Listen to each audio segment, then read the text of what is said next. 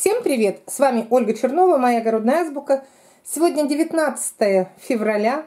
Сегодня хочу показать вам, как выглядят мои первые томаты из самых первых посевов с первой партии, которые распекированы 10 дней назад.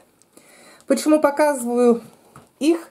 Потому что сегодня у них будет первый полив. И я хочу рассказать немного подробнее о поливе после пикировки. Ну, сейчас вам покажу. Тут, видите, томаты разные. Вот это вот, так, это у нас батяня. Видите, строение кустика совсем другое. А вот эти у нас те, которые толстоногие, крепенькие. Вот это буян. Ну, тут же и Настенька, и все другие. Сейчас какие тут еще попались у меня.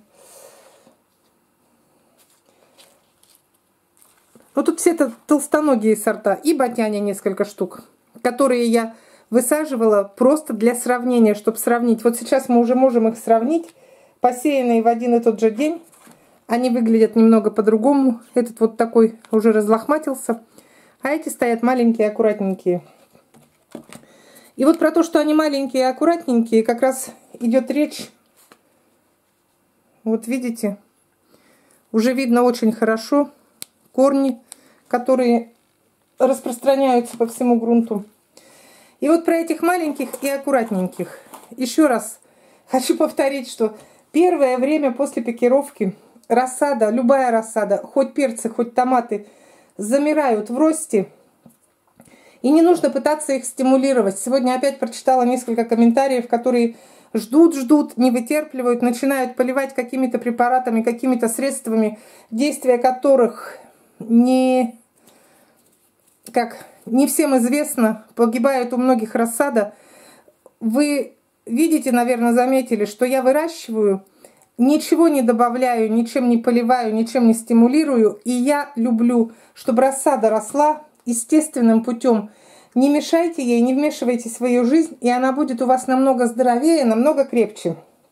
Так, ну я про полив. А, еще хочу показать, вот там специально поднесла перцы. Видите, вот лоток. Перцы, посеянные в этот же период, еще даже не пикировала. Поэтому у нас, поэтому я всегда говорю, что они перцы у них более длительный период, они всходят дольше, и до пикировки в лотке у меня сидят дольше. Сегодня или завтра я буду пикировать, о пикировке перца все подробно расскажу.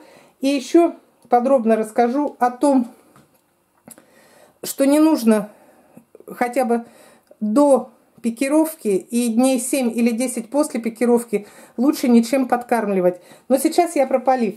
Вот смотрите, эти томаты были посеяны 23 января сухими семенами. Посев этот не массовый, это вот небольшое количество томатов только для теплицы с подогревом грунта и подогревом воздуха. То есть это вот такие как бы Исключение из правил, поэтому очень ранний посев. Поэтому я для этого посева, для самого-самого первого, выбрала только толстоногих, которые не вытягиваются и которые, ну, как бы так компактно, они не перерастают. Вот 10, 10 февраля я их распекировала. Прошло 9 дней. Сегодня будет первый полив за, за 9 дней после пикировки. И я когда пикировала, я уже говорила, что я поливать не буду очень долго. 7, 8, 9 дней. Ну, неделя это минимум. Вот она, Настенька. Вы видите, что они не сильно увеличились в размере. Вот два листика, у них было два листика, просто меньшего размера. Появляется третий лист. У кого-то появляется, у кого-то появился большой, у кого-то маленький. Ну, посмотрите, что творится с корневой системой. У нее уже, у этой Настеньки, такие корнищи, которые даже до стенок, вот уже, видите, прошли. Хотя сама она вроде бы и не изменилась. Я об этом уже говорила сто раз, но повторю еще раз. То, что она маленькая, то, что она не увеличивается, это не значит, что она не растет. Она наращивает то, что ей необходимо в данный момент. То есть ей нужна сильная корневая система. Не вмешивайтесь, не подкармливайте, ничего не делайте. Вот кто нарастил вот такую корневую систему, я сейчас их полью, и у них начнется все по нормальному сценарию. Будут и листики появляться. Вот видите, третий лист уже у всех появился. Они начнут расти. Но расти не так, как хочется некоторым, чтобы, видимо, прям зеленые баобабы начинали расти. Они будет расти и корневая система, и вверх. Полив нужно делать, конечно, теплой водой. Везде пишут отстоянный, но я не отстаиваю, потому что у меня вода не из водопровода, из подземного источника. Источника она у нас не хлорированная, естественная. Мне никаких обработок не нужно. А вообще, если хлорированная, конечно, люди там стараются, отстаивают как-то, может быть, даже кипятят. Я не знаю, что с хлорированной водой они делают.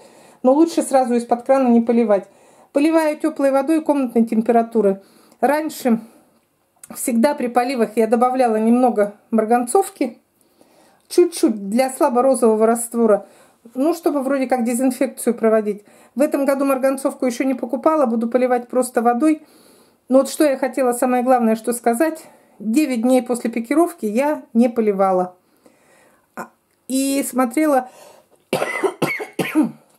чтобы грунт равномерно, немножко как...